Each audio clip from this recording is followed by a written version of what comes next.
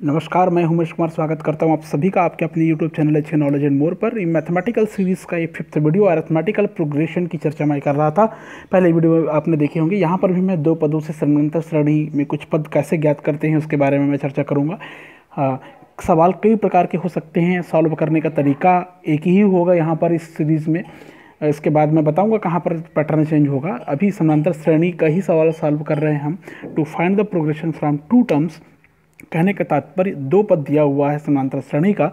कोई एक पद ज्ञात करना होता है या सर्वांतर ज्ञात करना होता है? मैंने कहा था पहले वीडियो में कि ऐसा ज्ञात करने के लिए पूछा जा सकता है।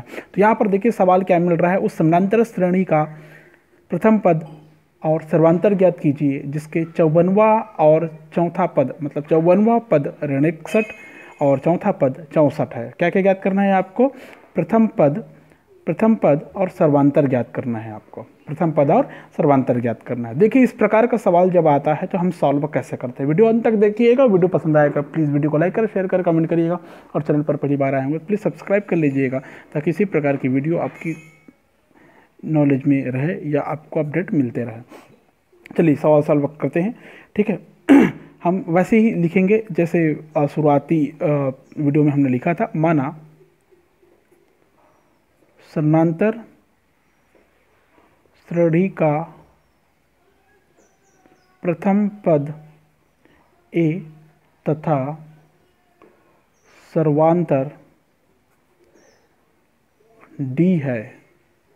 तब प्रश्नानुसार लिखते हैं फटाफट। देखिए, श्रेणी क्वेश्चन में लिखा हुआ है। श्रेणी का चौवनवा पद।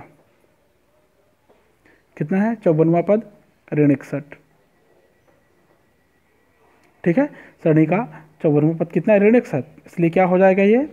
ए प्लस चौवन एन इक्वल टू चौवन। तो चौवन ऋण एक इंटू डी बराबर ऋण इकसठ हो गया। ये और सॉल्व हो जाएगा तो ये हो जाएगा a plus fifty three into fifty three d जैसा लिख सकते हैं, बराबर ऋण इकसठ। ये समीकरण एक हो गया इक्वेशन नंबर फ़र्स्ट हो गया। ठीक है? समझ में आया? क्या आया? ए बराबर तिरपन d equal to minus sixty one आया। अब श्रेणी का चौथा पद देखिए। श्रेणी का चौथा पद, क्या है श्रेणी का चौथा पद? सिक्सटी फोर है। सिक्सटी फोर है। ठीक है? तो ये श्रेणी का जब चौथा पद सिक्सटी फोर है तो ये क्या हो जाएगा? सिक्सटी फोर क्या हो जाएगा? Sixty four a plus sixty four minus one into d बराबर सिक्सटी फोर ठीक है? समझ में आया? सॉरी चौथा पद सॉरी सॉरी सॉरी चौथा पद है तो फोर माइनस वन तो a plus three d equal to sixty four आ गया। ये हो गया आपका इक्वेशन नंबर टू समीकरण दूसरा हो गया। पहला समीकरण आपको मिला था a plus fifty three d equal to minus sixty one और दूसरा समीकरण आपको मिल रहा है a plus three d equal to sixty four मिल रहा है। ठीक है, अब क्या करेंगे हम? समीकरण एक में, समीकरण एक में से समीकरण दो को घटाने पर, समीकरण एक में दो को घटा दिए। चलो, समीकरण एक लिखते हैं।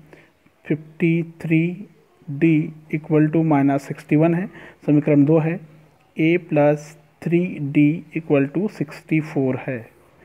क्या करना है? घटाना है। तो ये माइनस माइनस माइनस ठीक है? यहाँ पर क्या हो जाएगा? सिक्सटी ये जो sixty one minus sixty four है माइनस माइनस प्लस हो के ये हो जाएगा। माइनस माइनस प्लस मतलब जुड़ जाएगा। फाइव और वन टू ट्वेल्व 125 बराबर। अब यहाँ पर क्या हो जाएगा? प्लस है, माइनस है तो माइनस होगा। यहाँ पर आएगा 50 d, a minus, a plus, दोनों कैंसिल हो जाएगा। आया क्या आपके पास? 50 डी इक्वल टू वन आया। 50 डी इक्वल टू वन आया। तो डी इक्वल टू क्या हो जाएगा?